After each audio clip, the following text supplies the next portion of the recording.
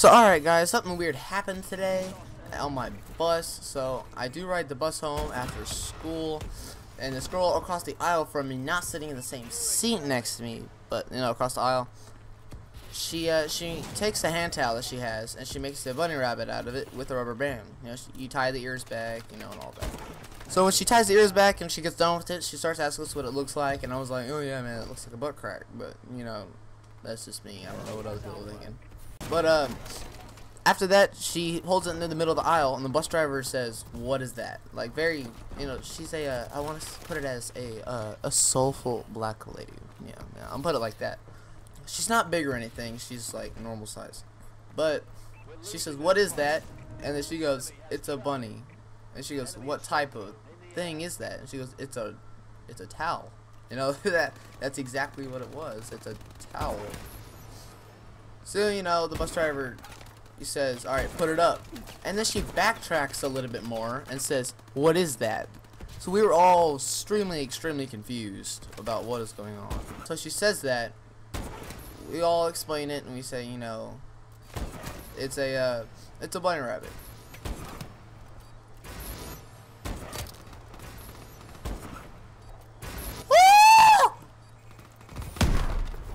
Don't ever snipe that good.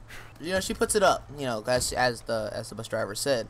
So when she puts it up, though, the bus driver continues. And she just keeps on, you know, stop it, stop it, stop it, stop it. You know, like, and we're all laughing, going, you know, what is she talking about? She's crazy lady, extremely crazy lady.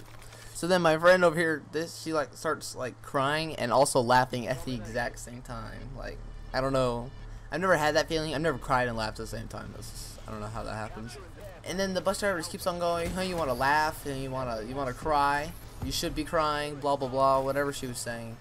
She says, "All right, guys, we're going back to school." And everybody was like, "What? Is she serious? Are we going back to school for nothing?" There's there was absolutely no reason to go back to school. One, it would waste her time. Two, it would waste our time. I mean, it's a lose-lose situation. So she drives us all the way back to school while recording us on her phone. She's not even paying attention to the road. So we're all very mad at her. All like, everybody's all cussing and getting angry. And, but I was, me and this girl next to me were laughing just so hard. It was so funny. So after that, the cop says, "Shut up, shut up!" Alright, and like you know, the super duper deep voice and this five foot two body.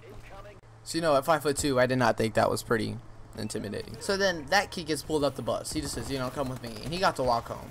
Then the bus driver with, tells the AP after the cop took the other kid off. It says, "This girl's, you know, she was freaking out. She was about to have like a nervous breakdown on me. I'm not gonna tolerate that on my bus." And I was just like, "Are you kidding me? Like, what is going on? Our bus driver is crazy." And she started uh, like imitating her about what she was, I guess, doing, but she wasn't really doing it.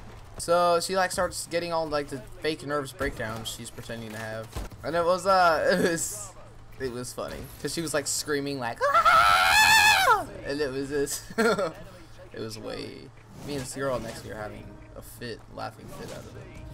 Cop comes back on and grabs the girl and takes her off, but you know she's not gonna get in trouble. It was just a towel. Like who cares? So then, you know, she gets taken off. The bus driver just says, I'm not going to have that on my bus, period. You know, how the teachers and people like to add that at the end, like it makes a difference. So, yeah, we get back on the bus, and uh, so we leave. You know, we go back home. See, when we go through the neighborhood to get to where they drop us off, you know, she goes to the main road, and then she goes to make a right, because it's like a little neighborhood off to the right, away from everybody else, away from everybody else's neighborhood, if that makes any sense. And uh, she drops like four kids off, and then the rest of the bus drops off at one spot. Easiest job in the world. Before though, when the girl got caught with the with the the rabbit, it was after those kids got dropped off. So we're all over here being optimistic, saying, "Oh yeah, we get to skip that spot. You know, we get to skip that stop." But no, she goes to that road and she makes a right and goes over there. And we're all like, are you kidding me? This bus driver is literally the stupidest person I've ever met. And it is, it's amazing. I thought it was phenomenal how, and ridiculous how stupid she is. That might sound really, really bad. so we get over there and she opens up the door and says, okay.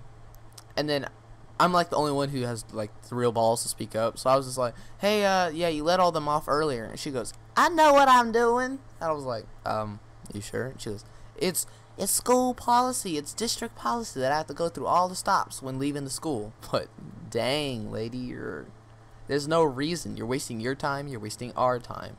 Does not matter. So then she turns around. You know, she takes us back to our spot, and then I walk home. So, you know, it's all in all like a pretty crappy experience. You know, pretty crappy. But it was, it was, I had, I laughed so many times. It was very, very funny. But alright guys, that's been it. Remember to drop a like if you enjoyed and hit the subscribe button if you want to see more. And, uh, alright, stay Deeveeus.